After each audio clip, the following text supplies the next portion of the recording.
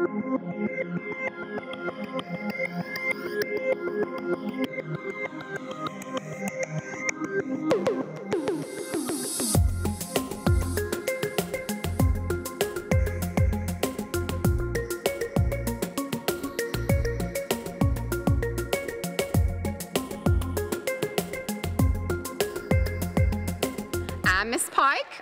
The Discovery Lab teacher here at Lakewood, and Mr. Maddock and I have been working in the gym showing the kiddos a model of how the solar system works with the sun, earth, and moon, and then also what will occur during the, the total solar eclipse this afternoon. As the kiddos have been coming to the Discovery Lab, we've just been kind of doing a crash course with how the solar system works and how that the solar eclipse is just actually just a shadow of the moon blocking the sun's light and casting a shadow on Earth.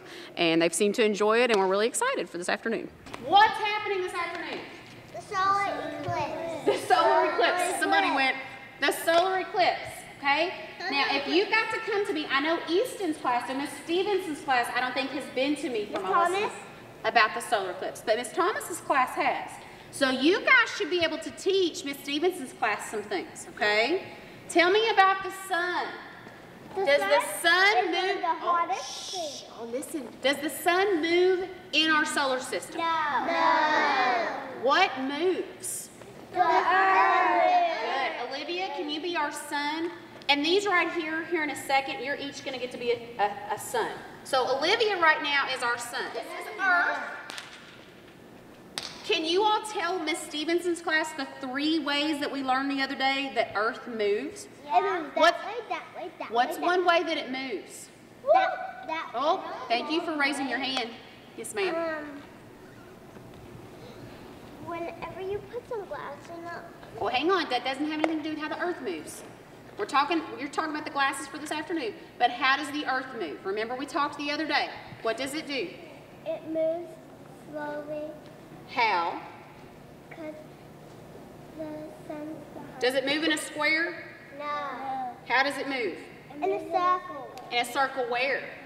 Oh, Around the sun. Very good. Let's So. Miss Tom Stevenson's class, you all haven't been to me yet. It moves around the sun. It's called orbiting. It orbits the sun. What else does it do? What am I doing right now? Twisting it. Twisting it. I'm spinning it. Okay, so it also spins. Okay, it, revolves on its axis. Do you know how long, does anybody remember, we talked about this the other day, how long does it take for the, for the earth to spin one time? Do you remember? Do you remember? A month. Not a month, A year. a long time. Remember we talked about when you get up in the morning, it looks like the sun is coming from where? The ground. The ground. But is the sun what's moving? No. No, no we are. Okay, so the sun looks like it's coming up out of the ground, and then at night it looks like it's doing what? Going back Down. down in the ground. That's because of the earth spinning. It takes one day, 24 hours for it to spin. And then it takes one year for it to orbit, in other words, go all the way around the sun. Now, Mr. Maddock is going to be the moon, okay? Remember, the earth also tilts. That causes the seasons. We talked about that the other day. So, this afternoon, the big things that are important with the solar eclipse are the sun, the earth, and the moon. So, Mr. Maddock is the moon. Does anybody remember what the moon does? Very good. It orbits around the Earth. Okay? So this afternoon, the solar eclipse, I'm going to have to Mr. Maddox stop for just a second. I'm going to get in line with him. Now, this afternoon, the sun and the moon, the earth and the moon, they're not going to stop. Okay? They're still moving. But as they're moving, the moon is going to get in perfect line in its orbit and with Earth, how it is spinning and orbiting with the Earth to block the sun's light. We went outside the other day with Miss Thomas's class. Do you remember this? And we were facing the sun. When I had you turn around, what did you see behind you on the ground? Your shadow. So the, the eclipse, guys, it's actually just a what on Earth? Above shadow. A shadow. Exactly. It's just a giant shadow of the moon. Okay? So here's what we're going to try. We're gonna have some of you all be the sun. So we're, the, the balls around here are the sun. I'm gonna tell each of you to go to a sun. Some of you are going to be the earth. You're gonna get a basketball. Some of you are going to get a, a styrofoam ball from Miss Olivia. That is going to be the moon. We're going to see if you can move around the sun as the earth and the moon move around the sun. Then when I say eclipse, we're going to kind of push pause. Like on your TV, if you've ever watched a cartoon, sometimes you can push pause. That's not really what's going to happen this afternoon. Nobody's going to pause the sun and the earth and the moon, but that's what we're going to pretend like in here. We're going to pause for a minute and try to get your moon in line with the sun and the earth in between, okay? Yeah. So, I think I'm going to have two of you for each sun because the sun's kind of big. You're going to work together to just hold it. It doesn't have to be up in the air, but if I tell you to go to a sun, I just want you to sit at the sun right now. When I tell you to orbit, the sun, I want you all to stand up and just hold the sun in between you. And then the basketball is the earth. You're going to walk in a big circle around the sun. You could spin if you're not going to get dizzy, but Miss Pike gets too dizzy. And then the moon is going to walk around. So stand up here. I want you all to be an example. You're going to walk on the black line. He's walking in a circle. This is he's orbiting the sun. And if you wanted to spin, you could, but you might get dizzy. So you can just kind of try to spin the basketball as Earth spins. And then come here. Our moon is just going to walk around, orbit the earth the entire time. So you gotta walk, if you're the earth, you gotta walk super slow. So she, the moon, can walk around earth. You have to keep walking, keep walking around, all the way around. Does everybody see this? Keep walking around, slow down so she can go around. Orbit, all the way around, baby. Just keep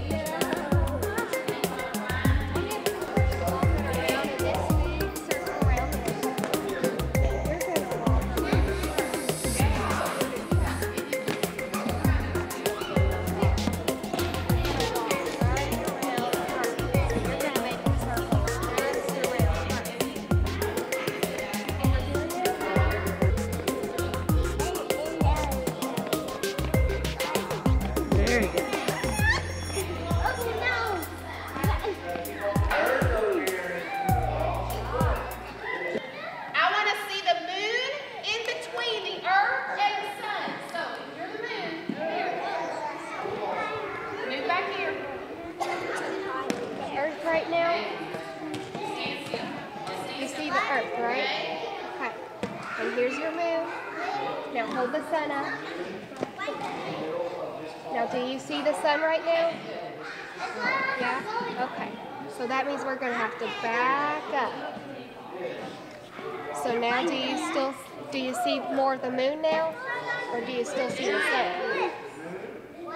You see the moon now? Yeah? So see how far away the moon is from the sun? That's what happens when we have our eclipse. So today, the moon is going to be close to Earth, and it's going to be far away from that sun. No. I think they did awesome. I think they're ready to go and see the eclipse and hopefully notice that there's a shadow today. It should be pretty dark for a little bit today. I'm Chrissy Skaggs, the Library Media Specialist here at Lakewood, and today for our Eclipse Day, we're having all kinds of things going on in the library. Right now, these students are doing a QR code scavenger hunt, and they're finding some really cool facts about the eclipse and just working as teams and learning lots of new things. Earlier, our kindergarten, first grade, and second grade, they did some Dr. Seuss activities with the eclipse in the library as well. So you're going to take your QR code reader and you're going to scan it. Scan, scan, scan. And it might give you something prompt and you say, okay, and it's going to give you the answer to your question. So then as a team, you guys are going to read that answer and then you're going to kind of shorten it. You're going to find the question on your paper, shorten your answer, and write it down. Okay, you guys think you, any questions? Okay, good luck and you can start scavenger hunting. No. Which one is it? This one?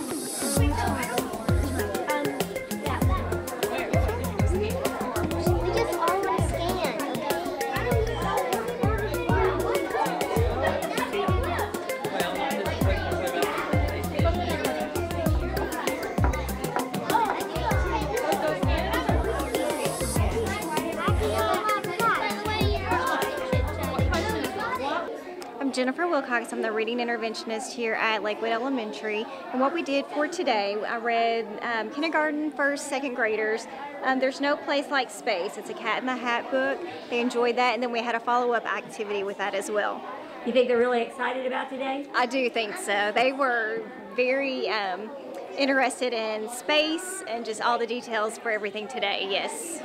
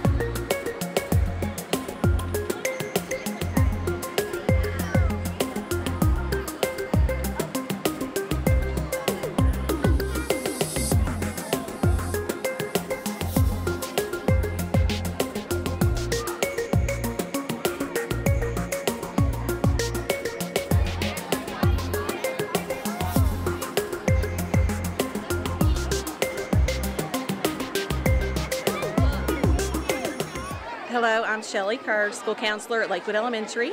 Thank you for joining joining us today here at Lakewood Elementary. A great experience for all the kids, once in a lifetime chance. Thank you.